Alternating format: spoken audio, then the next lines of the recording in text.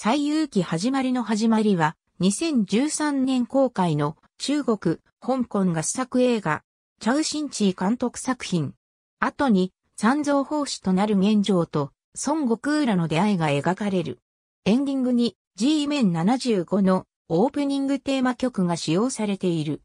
2017年にはキャストを一新した続編、最遊記に妖怪の逆襲が制作された。妖怪ハンターを制御とする青年、玄城は川で謎の妖怪によって窮地に陥っていたところを美人の同業者、ダンに救われた。その後、また別の妖怪相手に悪戦苦闘していたところ再びダンに救われ、一度はその妖怪を生け捕りにするも逃げられてしまった。師匠からご子孫のふもとに封印されている孫悟空がその妖怪を倒せるが、正確に難があり、注意の必要な人物であると教えられ、同業者たちとの接触や妖怪たちの妨害が発生する中、玄城は五子山へ行った。そして、玄城は久々の来訪者に喜ぶ悟空に妖怪退治の協力を要請した。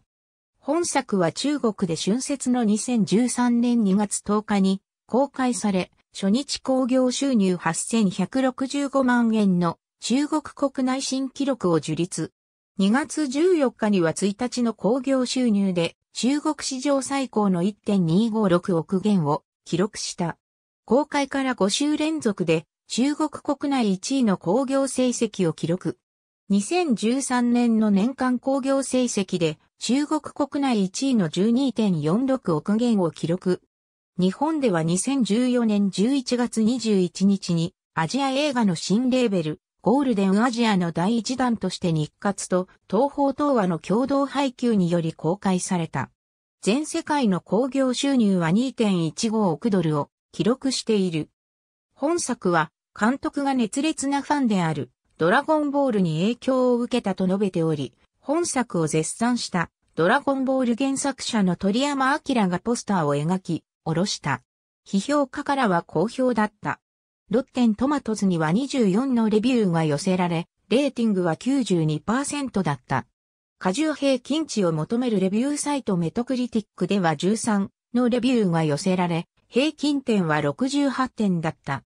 現状と孫悟空の戦いが決着する本作のラストシーンが、カプコンのゲーム、アスラズラアースのシーンの盗作ではないかとユーザーの間で話題になった。